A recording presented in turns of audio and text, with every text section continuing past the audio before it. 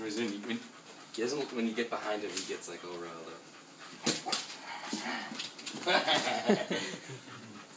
Here you go.